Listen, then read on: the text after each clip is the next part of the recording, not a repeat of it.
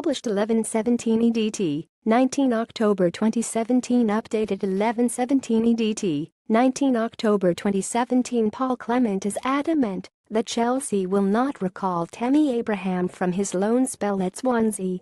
Abraham's five goals in 10 Swansea games four of them coming in the Premier League has led to speculation that the champions will recall their England under-21 striker to join them for the second half of the season.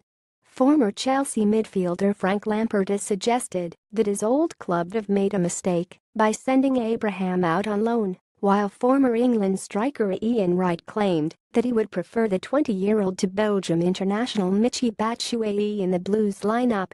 Tammy Abraham has been back to be recalled by parent club Chelsea by Frank Lampard The England under-21 has enjoyed a strong start to his Swansea career scoring 5 in 10 Swansea head coach Clement has confirmed there is a recall clause in Abraham's season-long loan deal at the Liberty Stadium but also insisted Abraham is well on course to meet the set number of games that Chelsea and Swansea agreed upon for him to spend the entire campaign in South Wales.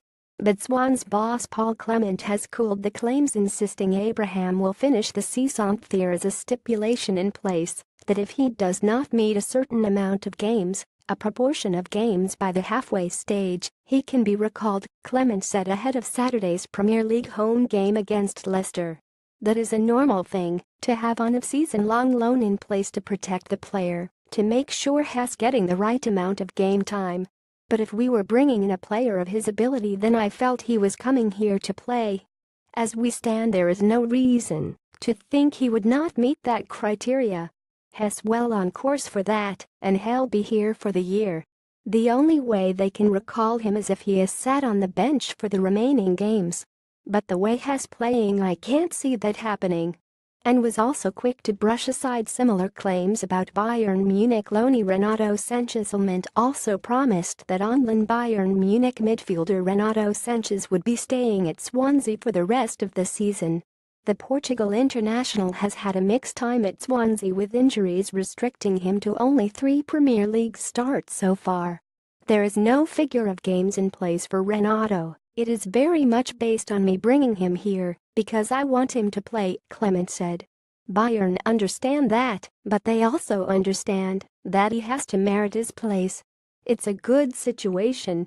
The Portuguese midfielder has had a troublesome start to Premier League life, but is due to return from a thigh injury against Leicester at the Liberty Stadium on Saturday. Sanches is set to return against Leicester after missing the 20 victory over Huddersfield with a thigh problem but striker Wilfried Bony will miss out again with a hamstring injury.